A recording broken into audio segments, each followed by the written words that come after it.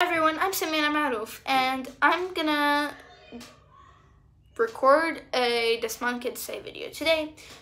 Um, it's gonna be a very short video because I don't want to take your time. But if you would like to get a snack and come watch this, okay, I don't mind. Anyways, back to what we were talking about. I'm here because of Dasman Kids Say. I'm supposed to talk about Dasman Bilingual School. I'm really looking forward to School of the Future because it's one of the best events of the year. And being a 10 being the 10 year old energetic girl I am, I need my fun and my sugar. I'm also really looking forward to Flag every Sunday because it's so cool and you get awarded certificates and trophies and medals. Reading week was fun, especially reading under the stars. I'm also looking forward to winter break and spring break.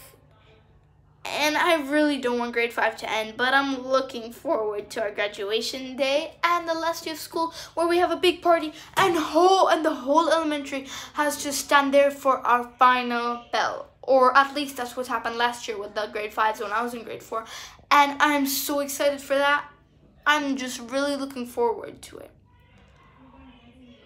The last thing I have to say is that I really love Dasman, and there's a million bajillion things I have to say about it. And most of them are really good. Probably the bajillion, half a million things are really good. And you know what? Less than 10 are bad, but not bad, just like need improvement. Less than 10. So, Dasman, I hope you really keep up the good work. Mr. Vihan, if you're watching this, thank you very much. Um, my final thing is it's an honor to be here. Thank you.